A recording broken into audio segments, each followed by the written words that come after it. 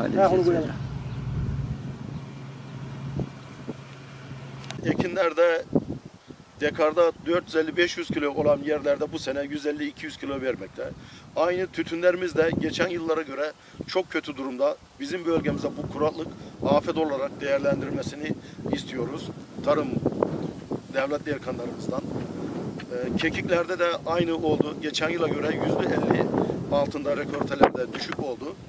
Yani biz devlet erkanlarından bizlere 2024 yılı için e, yardım bekliyoruz. Nisan ayından bu yana bölgemizde hiç yağış olmadı. Kuraklıkla mücadele uğraşıyoruz. bu seneki kuraklıktan dolayı başımıza gelen bütün afet desek daha mantıklı olur. Afet geldi başımıza.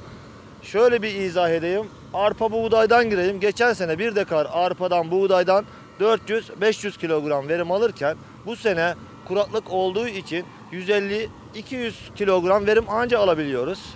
Bu da bizi şöyle zorluyor. Maliyetlerimizin yüksek olması, e, attığımız tohumu geri çevirmemiz çok zor oluyor bu sene bizim için. Geçen sene bir kekik tarlasından 200 kilogram dekarından kekik alırken ben bu sene 80-100 kiloya zor düzüyorum. Biz çiftçi olarak ne yapacağımızı bilmiyoruz.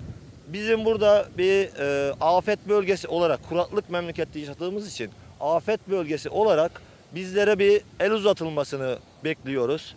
Çiftçi olarak gerçekten de Barza Ovası'nda canımız çok yanıyor. Bu sene verimlerimiz çok az. Geçen sene romotlar sığmıyordu. Ben romok küçüktü. İş vermiyorlardı. Bu sene büyük romok yaptım.